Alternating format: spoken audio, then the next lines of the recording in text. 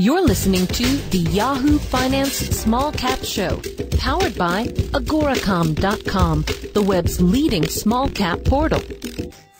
Welcome to Beyond the Press Release, an exclusive program of Agoracom in which clients get an opportunity to discuss important press releases and developments in further detail. Today we're talking with Armada Data Corporation, trades on the TSX Venture Exchange under the stock symbol ARD. The company today posted record Q1 results and announced that earlier today on Friday, October the 30th.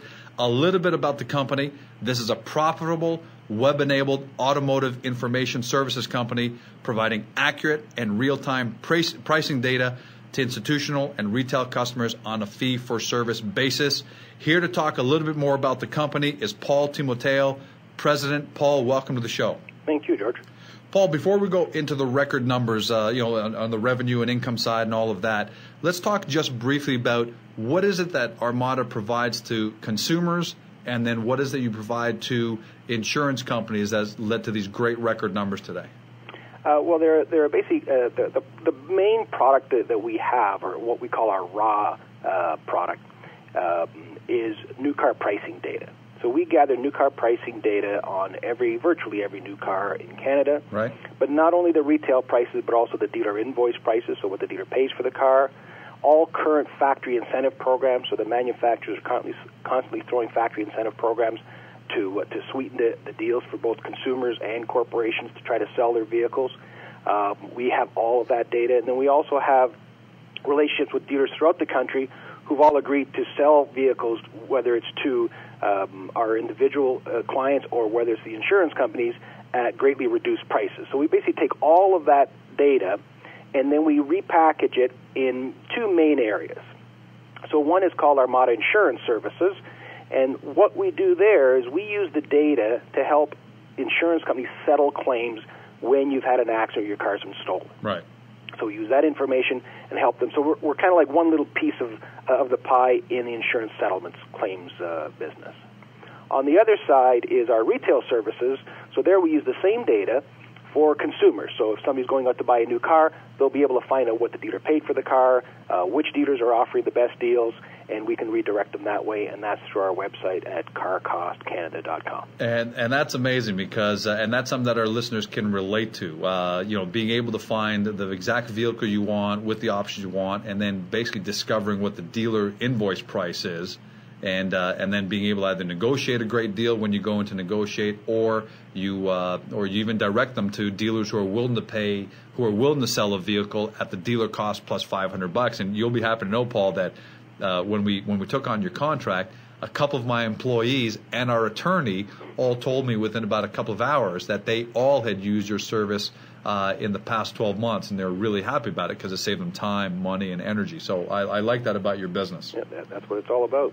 All right, so let's go. You know, we all hear about a lot of great companies. A lot of great companies out there. They talk a big game, especially on the technology side. They all think they've got the next great killer. Uh, but the failure of most of them, unfortunately, is that they just don't deliver at the end of the day, or they don't have a solid revenue model. Armada is anything but. Today, you uh, you announce revenues were up 58%. Your net income is up 244%. And in fact, not only do you pay a dividend uh, to your shareholders, but you're actually announcing that you're going to increase. Uh, you're, you're going to increase that dividend. So, what do you attest this growth to?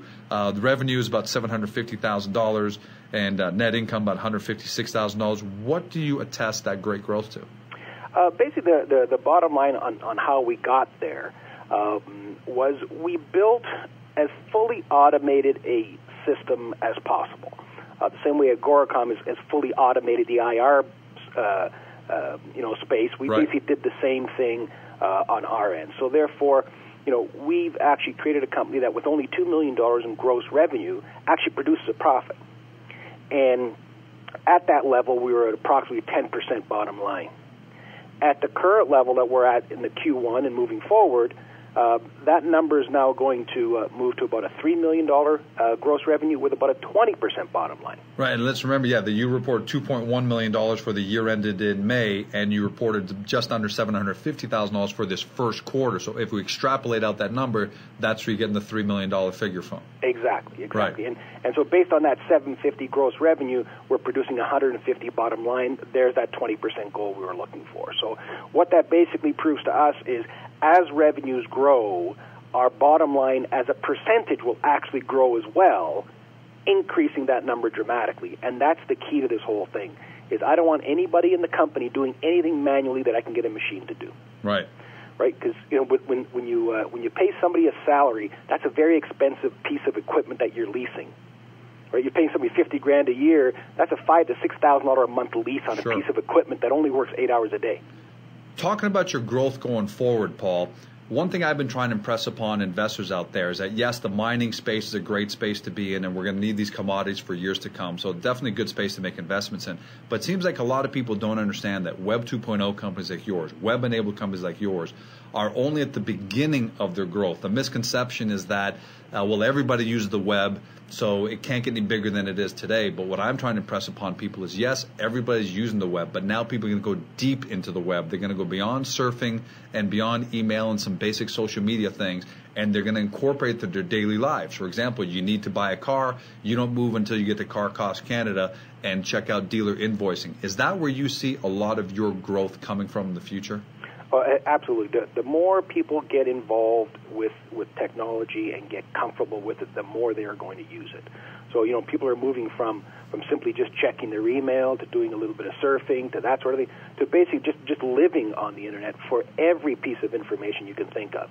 You know, even even when you see two guys arguing in a bar, the only way they're going to settle the the, uh, the the argument is do a quick Google search on their BlackBerry and bang, the I've probably done that six times in the last month with friends of mine where we said, let's Google this right now so we can get the actual facts out. Exactly. So it's just that, that that comfort and that top of mind that no matter what information you're looking for, you can get that instantly.